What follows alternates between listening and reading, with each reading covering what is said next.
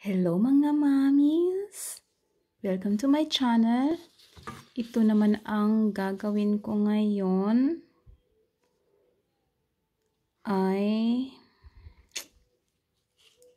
gamot sa ubo pa rin. Pero ito ay ano onions sa Bisaya, sibuyas, Bombay ikat ko to ng sobrang an sobrang.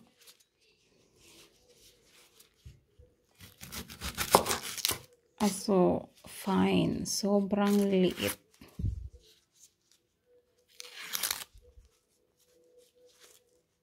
Manood na lang kayo kasi hindi talaga ako magaling mag magdimo-dimo yung pagtagalog na ko nakapak napakahirap sa ano ko sa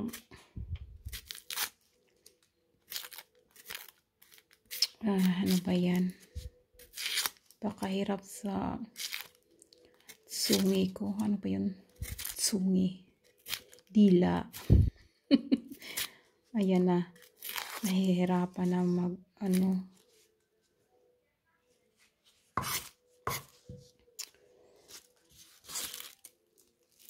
Ayan. Cut ko siya. Ito maganda to siya sa mga babies. Yung mga yung yung mga babies na maliliit pag inuubo sila ito ang mabuti at maganda talaga. Kasi nag-ano siya sa sa sa dibdib. Magkaano siya? Bilis ng ginhawa. Kasi yung pag inuubo yung mga bata na maliliit ano yun? Mahirap yun mag hinga. Nakakaawa na yung mga bata tsaka tayong mga mommies. Worry na worry talaga pag ano yung mga anak natin nagkakasakit tsaka hirap nilang pa painumin ng mga gamot. Kaya ito yung idea na pwede natin ibiga ipainom sa kanila. Tsaka ito yung gaway natin na onions syrup. Ihalo lang yan natin. Mamaya. Yung onions at honey.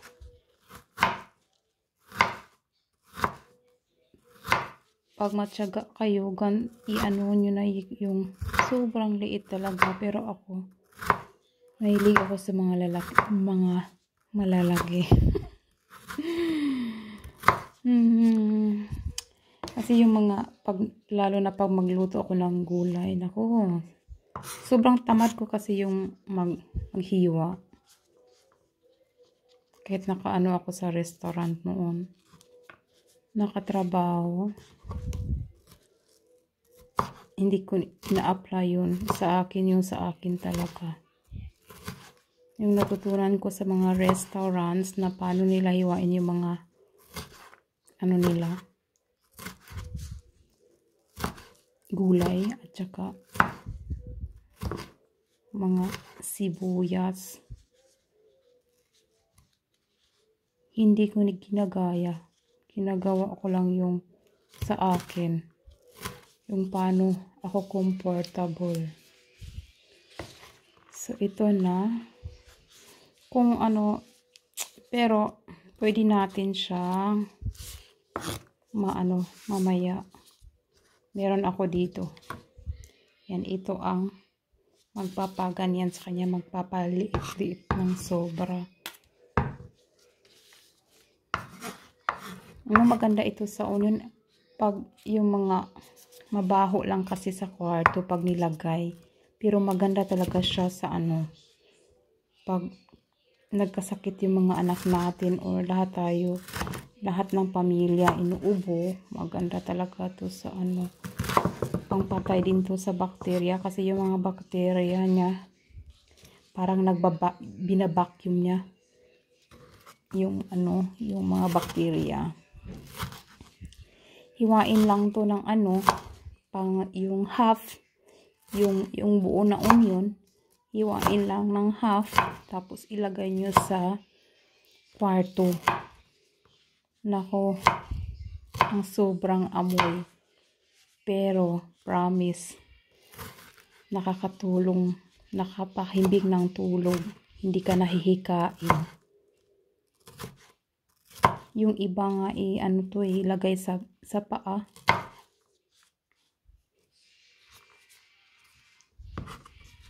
Tapos yan mo yung yung ano. Ilagay lang sa paa nila. Yung mga sira na stocking pwede yung ano eh isuot. Tsaka yung ano yung yung onions na half ilagay lang sa middle sa ano yung sa paa. Tapos pwede ka nang matulog. Tsaka wag mo na yung gamitin ako Diyos ko. Delikado yun. Tsaka pati na yung ano pati na yung onions na nilagay sa mga kwartos the next day hindi na yan pwedeng gamitin talaga. Kahit sa kusina yung half talagang hindi na yan pwedeng gamitin kapag naka ano na naka-expose sa kusina. Kailangan nakasirado kasi yung parang ano nga eh binabacuum yung mga bakterya niya. Delikado. Ito gawin ko tong para lumiit siya ng sobra ganito lang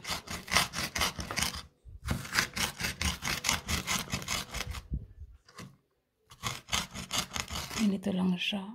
Hindi ako master nito.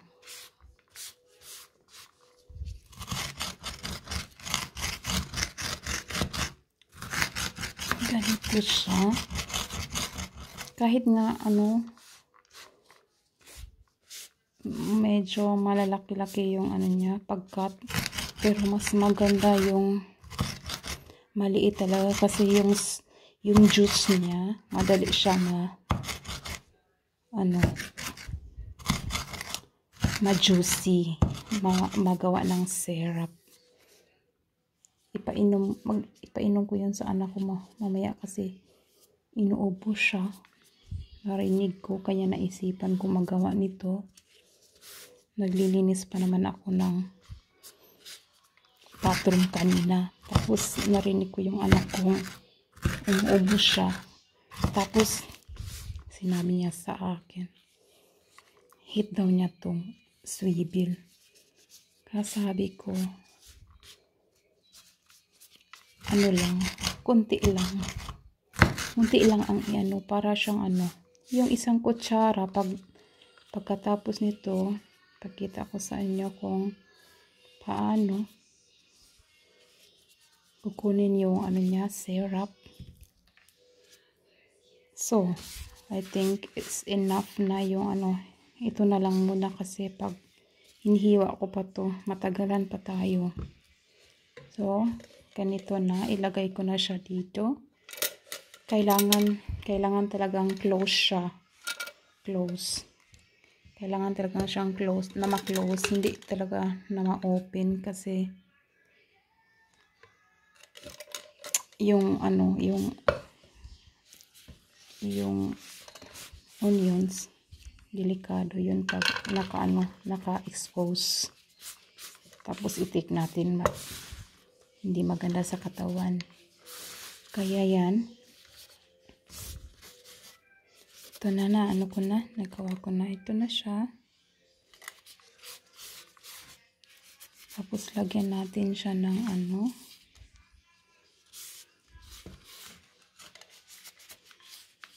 Ilagay na natin. Yan, kunin ko na siya. Yan. Ilagay ko na siya. Ayan o. So, medyo maliit na siya, di ba? Yan, maliit na siya. Tapos,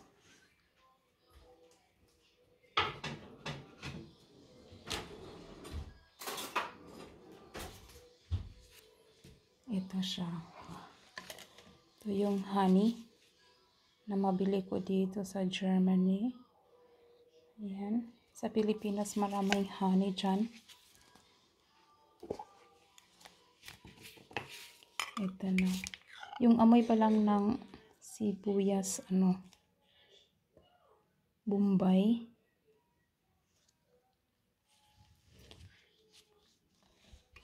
Nakakaano na siya, naka,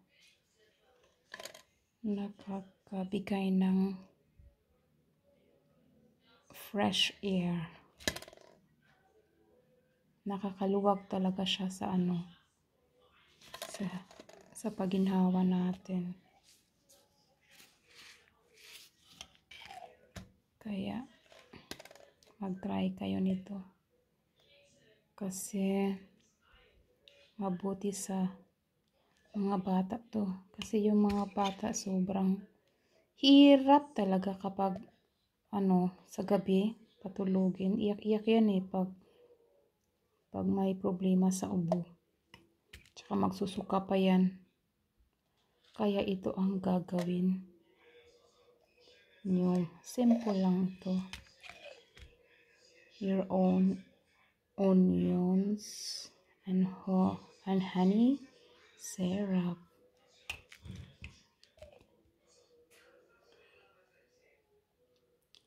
Ito kasi na paano ko to siya nalaman yung German na kaibigan ko, yung anak ko noon bago pa lang ako dito, inuubo, tsaka hirap ako mag umiiyak lagi. Kaya yun, sinabihan niya akong ganito. Pero hindi ko alam yun eh, kung paano siya ang nagawa. Pero, iba kasi kapag tayo ang gagawa ito. Kasi, matitikman natin kung ilan ang gusto nating ilagay ng honey. Yan, ito na siya. Tingnan niyo. Tingnan niyo siya. Ganito pa siya ngayon kasi bago pa. Pag ilang, ilang, ano, ilang minuto, maano na siya, ma, yung juice niya, ma, yung, may syrup na siya. Tsaka paano kukunin yung syrup pag ano na siya. Ito, ihalo muna natin. Ihalo muna natin siya. Ayan. Ihalo natin siya.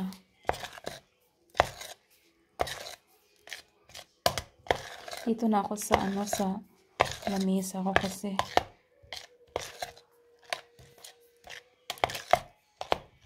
sa ano ko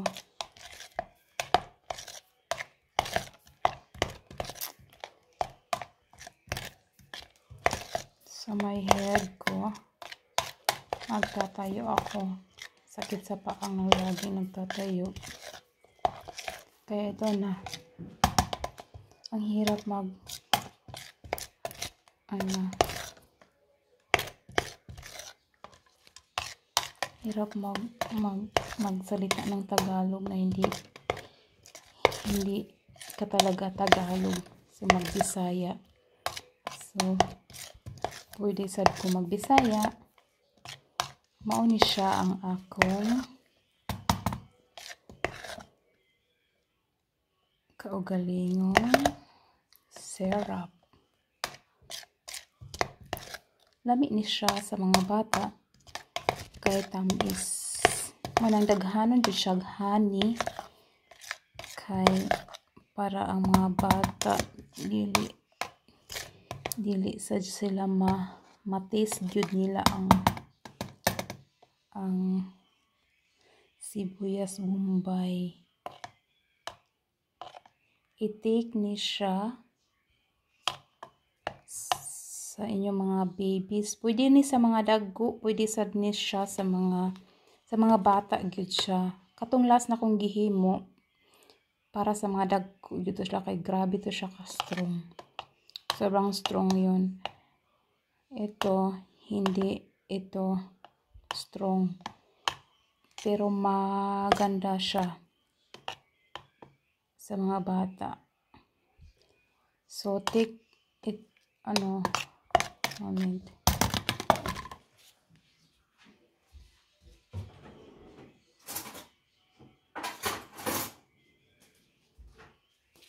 Pakita ko siya ganito. Ayan, ano ko na siya, na-mix ko na siya. Ako na siyang na-mix na magtagalog, magbisaya.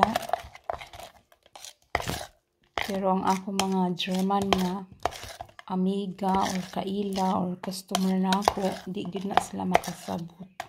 Mag-message siya na siya na ako unsa daw na unsa giunsa unsa na tanan kay wa sila kasabot sa akong gi gilitok diri ako galisod gyud taon magbisaya magtagalog. Pero ang video masabtan ra ni kung giunsa na ako paghimo. So mao ni siya. Mao ni ang akong syrup so. Mo ni siya ang itik. Pag pag maabtan na ni siya mga 3 hours, daghan na kay siyang makuha. Pero karon maglisod pa kay kay sticky pa kayo ba. So pwede ni siyang so hmm? Oops, sorry. Wala na ko siya nakita. So, mo ni siya. no? ang syrup look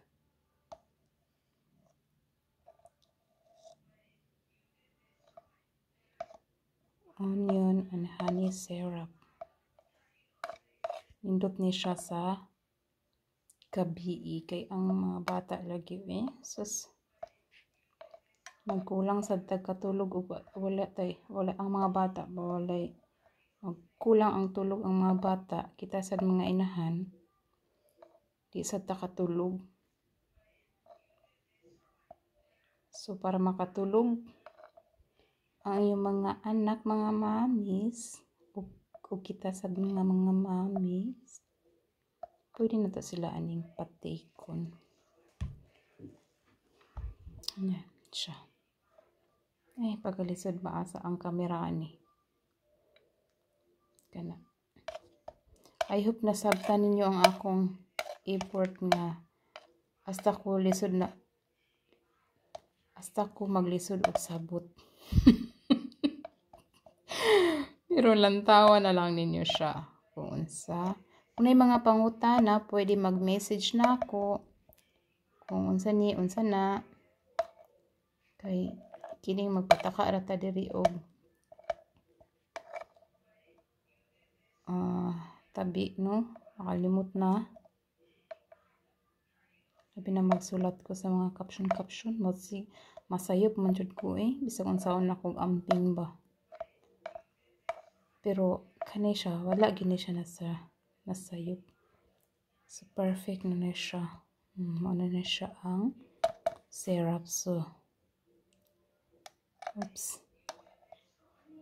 Mm Dili na siya ma inom sa akong anak karon. Mm, nani siya. Tarunan na siya kuhaon niya. So, maulang ni siya ang sample sa syrup. Na?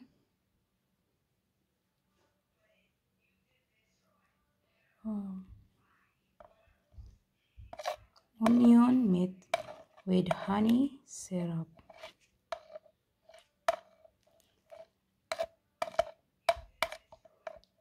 Kay dili gid kaayo sayo ng mga anak nga maghilak-hilak ini kagabi. Luoy kaayo. Dili lang ang anak ang luoy, luoy sad kay ang mga mama.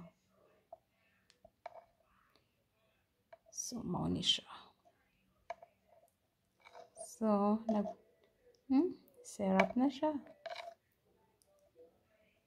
So, pwede sa kung dili siya hmm, kung easy siya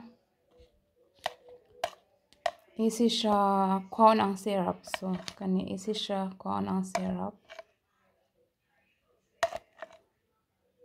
Pwede siya but uh, isalaon siya. Parang pure syrup good ang matake wala na sibuyas. So na na siya so mutik sad ko karon kay para sa ang ginhawa ay wala ko koy ubo pero ganahan lang kong mutik ani. Kay nindot sad ni siya sa sa tunlan. So mo na ni siya mo ni siya ang akong onions and honey syrup. So, thank you for watching guys. Mga mamis ha, ayaw kalimti. Paghimo ani, aron makatulog na mo og tarong. Salamat sa pag-views. Until the next videos. Ayan, nag-English na po siya.